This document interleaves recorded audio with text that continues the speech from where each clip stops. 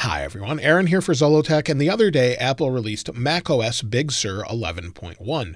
Now, like I said, it's been out for a couple of days, and I made a video, but there's been so much coming out that I hadn't had time to actually publish it.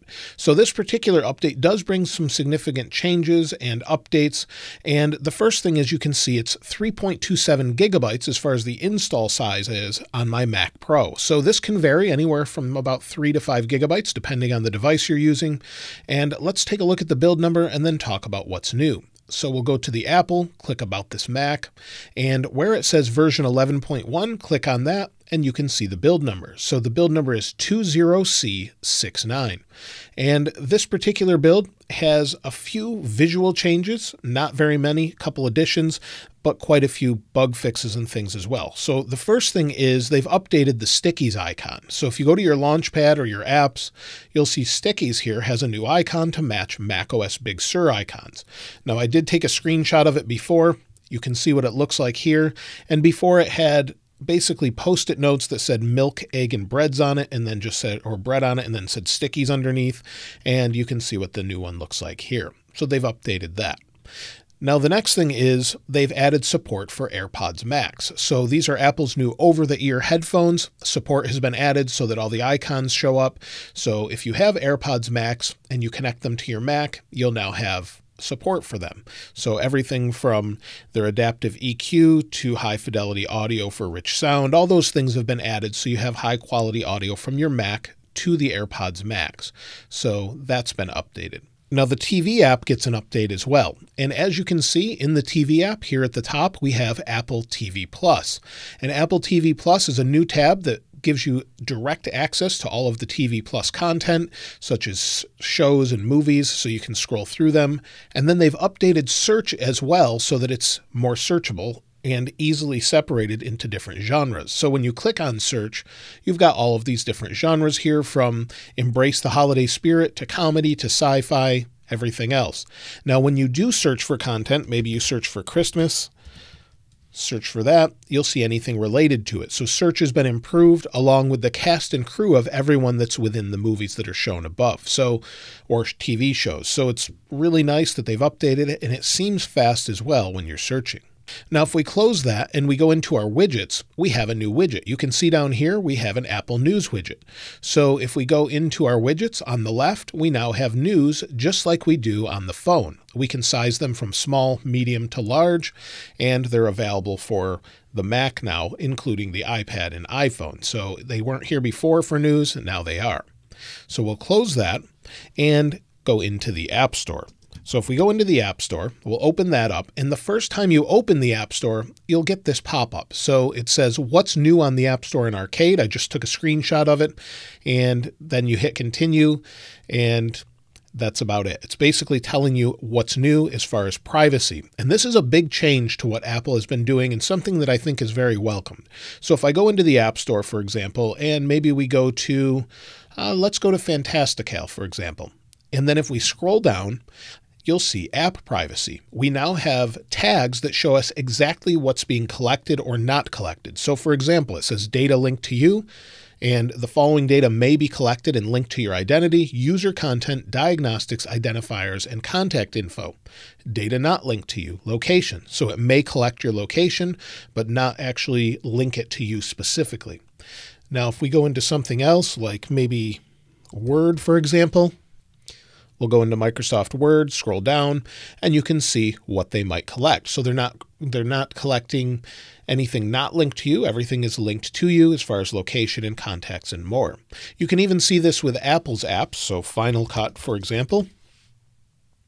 If we go to Final Cut, scroll down, privacy, it says data linked to you identifiers, data not linked to you, usage data, identifiers, and diagnostics. So you can see everything very easily explained for all the apps that you want to look at. So it's really nice to be able to see that.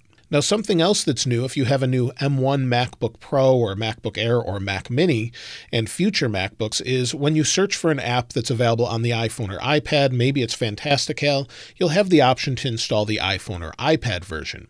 And what you can do now on the M1 Mac is make that full screen. Now, it looks kind of comical when you make it full screen, but you have the option to do so, and you can see it there. The nice thing is you can use those widgets for those apps as well. So in your widgets pane on the right, you can add whatever widgets you'd like. So whatever app you want to use, if it's not available on the Mac, but it is for iPad and iPhone, and the Apple developer has not opted out, you can use that on your M1 Mac and make it full screen. So that's a new change.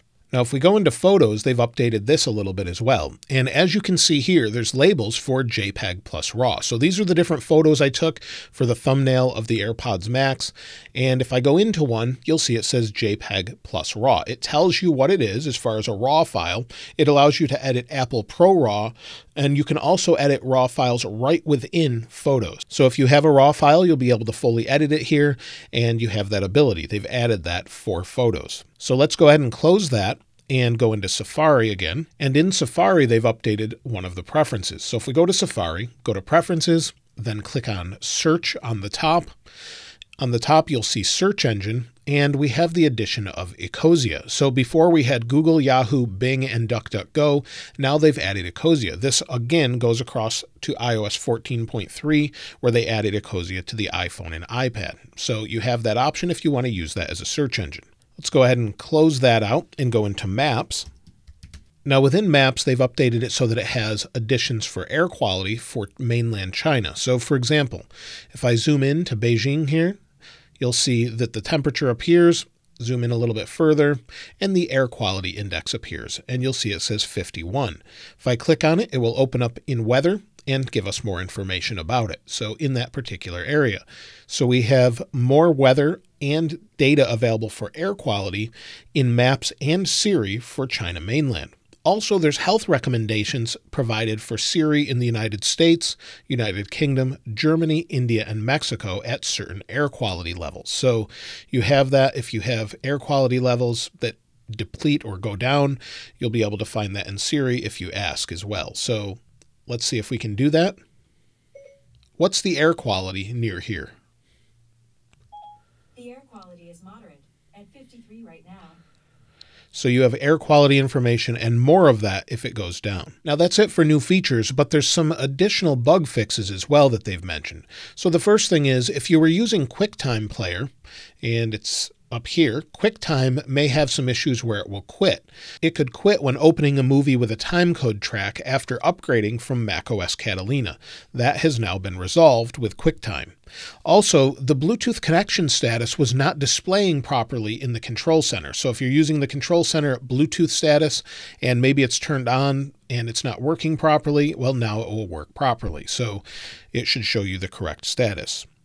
Also, if you use an Apple Watch with your Mac to unlock it, it should now unlock properly. So if we go to unlock in security and privacy, you can see you can unlock your Mac with your watch. So if you want to do that, you should have the option to do that like you could before, but it should be more reliable. Now, if you're using a MacBook Pro, trackpad scrolling speeds may have been off from what they were before. So they've been updated so that they're no longer unreliable and faster than they should be. So those have been updated as well. And then finally, if you're using an LG Ultrafine 5K display, it was incorrectly displaying a 4K resolution on Macs that have the M1 chip in it. So if you're using this LG LG Ultrafine 5K display, it should now display the proper resolution with the new M1 MacBooks. Now there's additional security updates as well. So here's the security updates. You can see them for the latest versions and there's a lot of different updates. So there's security updates. Apple has updated everything from audio to core audio to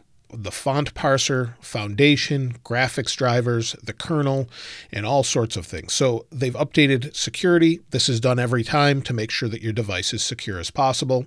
And I'm glad that they're showing all of these, and they've updated quite a lot. So you should definitely install this if you were thinking of whether or not you should. Well, this is the first big 0.1 update to macOS Big Sur that should fix a lot of the initial bugs that people were having, and it should be a little bit more stable, especially if you're on an M1 MacBook and you had the problems I mentioned before, or you just want those additional features or AirPods Max support, for example. So those are all of the updates for this. I would definitely install it if you're on macOS Big Sur.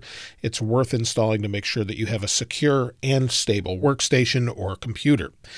Now, if you'd like to get your hands on this wallpaper, of course, I'll link it in the description like I normally do. And if you haven't subscribed already, please subscribe. And if you enjoyed the video, please give it a like. As always, thanks for watching. This is Aaron. I'll see you next time.